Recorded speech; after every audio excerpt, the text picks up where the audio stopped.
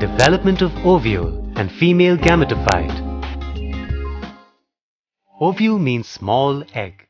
In seed plants, the ovule is a structure that gives rise to and contains the female reproductive cells. Ovules, which are borne into placenta in the ovary, develop into seeds after fertilization.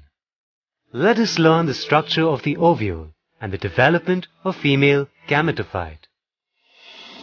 The ovules have a massive parenchymatous body called the nucellus. It functions as a megasporangium. The ovule is protected or enclosed by one or two protective sheaths known as integuments. The ovule with a single integument is known as unitegmic and an ovule with two integuments is known as bitegmic. The integuments completely cover the nucellus, leaving only a small opening at one end called micropyle. The ovule is attached to the placenta by a stalk known as funicle, and the point of attachment of the body of the ovule to the funicle is called hilum. The basal part of the ovule, where the nucellus, integument and funicle merge, is known as chalaza. Now let us understand how the ovule and its structure develops.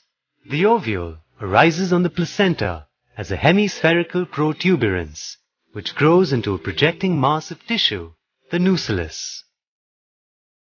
The inner integument, which is usually formed first, initiates from the epidermal layer and the outer integument from the subepidermal layer. The growth of the integument is slower than that of the inner integument.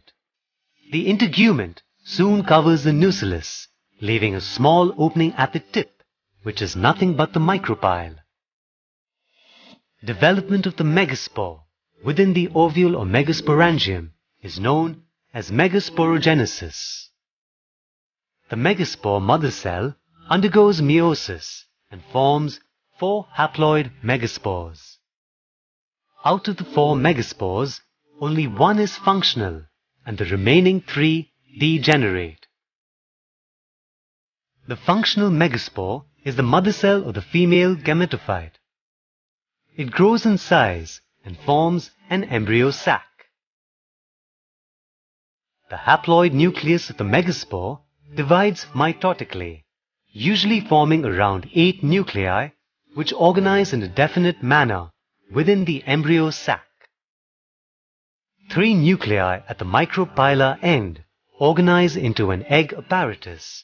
Three at the chalazial end form antipodal cells and the remaining two, called polar nuclei, migrate at the center of the embryo sac and fuse to form a single diploid secondary nucleus.